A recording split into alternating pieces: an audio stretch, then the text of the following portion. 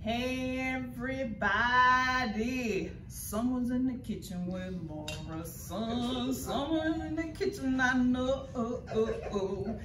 Today we are making chicken croissant rolls. Some people call them chicken roll-ups, but they're a family favorite of mine.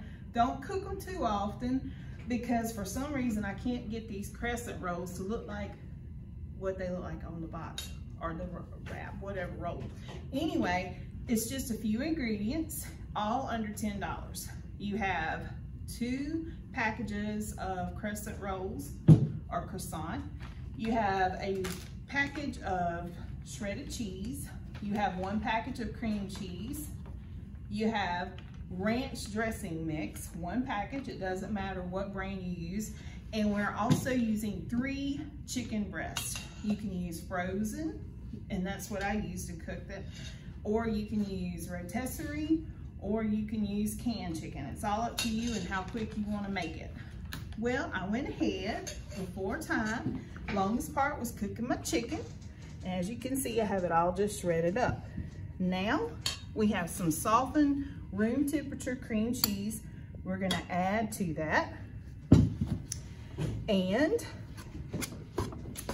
then we're gonna add our ranch dressing, one package. And you say, ooh, that sounds weird. It really is good once you put all the combination, the flavors together. And I have read where you can use one of these bad boys, the mixers, but today I'm using the old fashioned way because it seems to work best for me. Now, I'm gonna add my shredded cheese. Get that all together, mixed up. And it's gonna be kind of a dry consistency, but that's all right. It's okay. It's the way it should be. So we're gonna mix that up really good. And I'm just gonna dig in with my fingers, okay? I got them wrapped up in gloves. This is going home to my family. So I'm just going to get in with it. Oh yeah, oh yeah, feeling good. Now, we're cushioning it up, smushing it up, and I hope you guys are having a great week. Today is Wednesday that we're filming this. You'll be seeing it next Thursday, but I hope everything's going all right with you in your home and everybody's staying safe and well practicing their social distancing and staying inside. No large gatherings. This is a perfect dish if you're by yourself or if you have a large family. You can um, freeze these. All you have to do is wrap them up individually in aluminum foil and freeze them. When you get ready, you can just take one out if that's all you're in the mood for. Two, three, heat them up in the microwave a couple of minutes and you have your meal. Now, I've squished this up pretty nicely here. Just gonna make sure.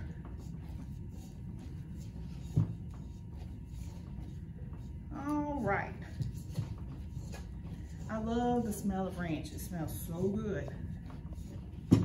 Now, I'm gonna take off my gloves since I got them good and messy.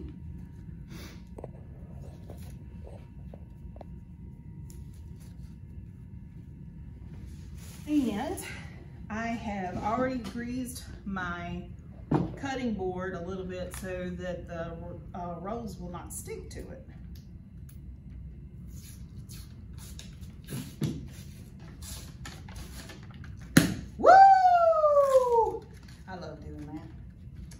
Scares me and everybody else standing around me.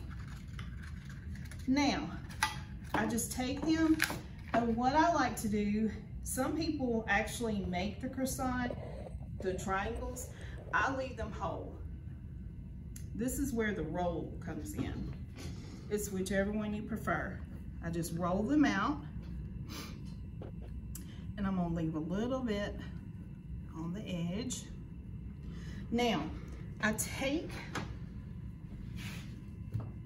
some of my chicken spread and You can be as messy as you want, as dainty as you want. It's up to you. So I'm going to spread it out and you're gonna have to squish it out a little bit. It's okay, it really is okay. Squish it out a little bit and squish. You're gonna apply this on both sides.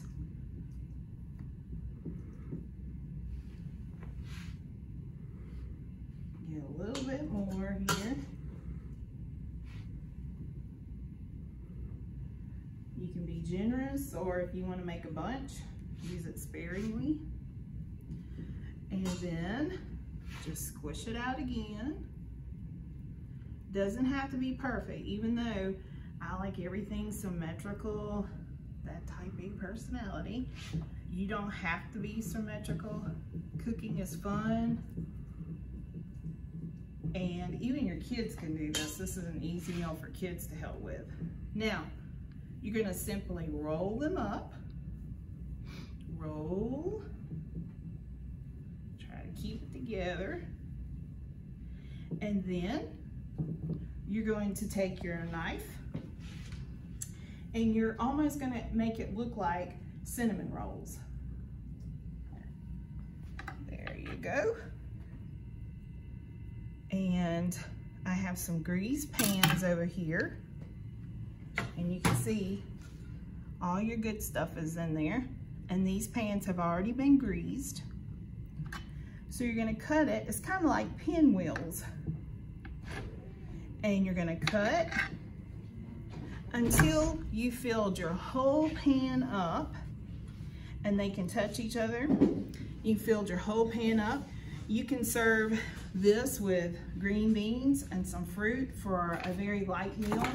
And um, it's good for summertime. So if you want something light before you go to bed or if you want to go outside and all that after supper, it's very light for you. So after you get your pan filled, you're going to put it in the oven and bake it for 350 at 350 for 20 to 30 minutes. After you get finished, you're done. You can fix your green beans. I got these, they're steamable. Stick them in the microwave a couple of minutes and you've got your meal. And that is all for this week with Mayhem in the Kitchen with Mary. And the directions for this recipe will be attached to this video. Thank you so much. See you next week.